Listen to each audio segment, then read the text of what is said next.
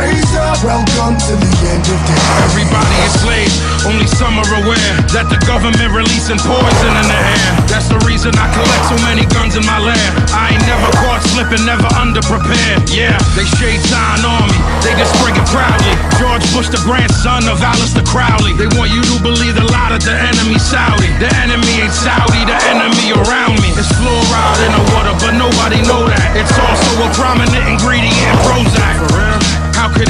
government bestow that upon people who believe in political throwback?